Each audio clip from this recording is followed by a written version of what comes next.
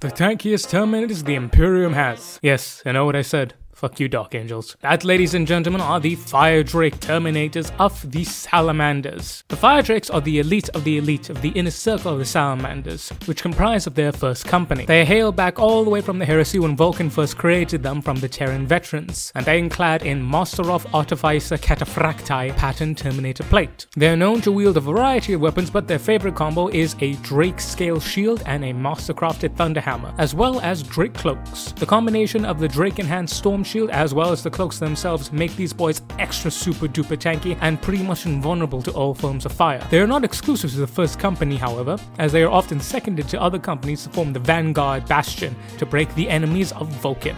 Overall, Fire Drakes are great. Big, thick, tanky, Sally dragons. They're great, they're awesome, and they give really good hugs. That begs the question though, how does one describe the Fire Drakes?